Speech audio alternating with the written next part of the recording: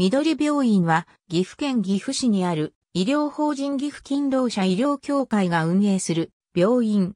1978年に設置された緑診療所を前身とする。緑病院は診療科8科、病床99床を有す岐阜市東部に立地する病院。臨床研修指定病院。救急告示病院として岐阜県知事により告示されている。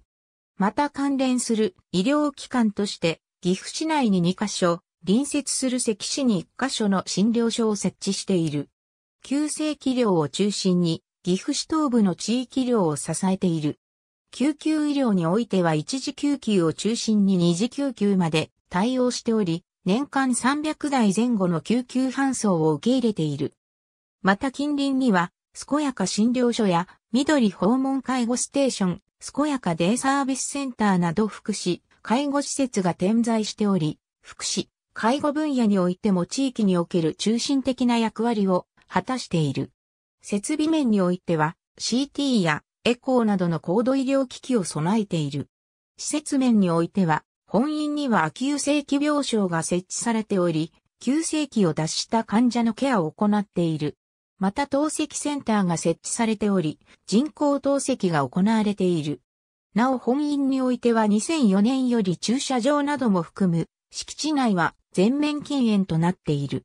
全日本民主医療機関連合会に加盟している。病院の理念により差額ベッド料を徴収していない。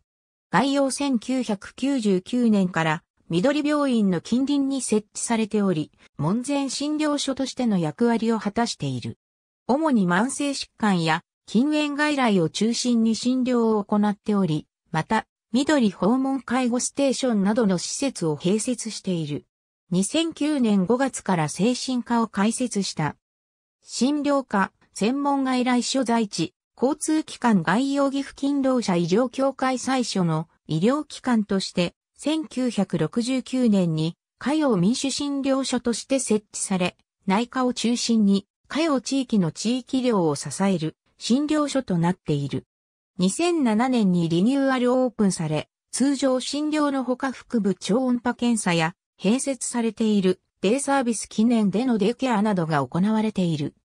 診療科所在地、交通機関概要1998年に岐阜市と隣接する関市西部に位置し、内科を中心に地域医療を支えている。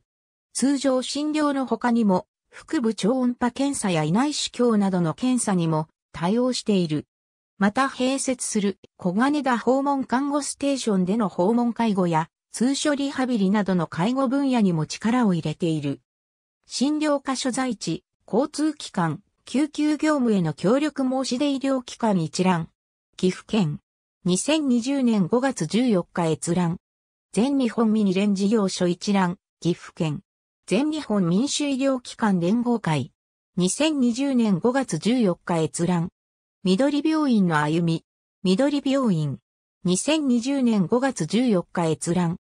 ABCDEFGHI 岐阜県医療機関案内システム岐阜医療施設ポータル。岐阜県。2020年5月14日閲覧。差額ベッド代について。緑病院。2020年5月14日閲覧。ありがとうございます。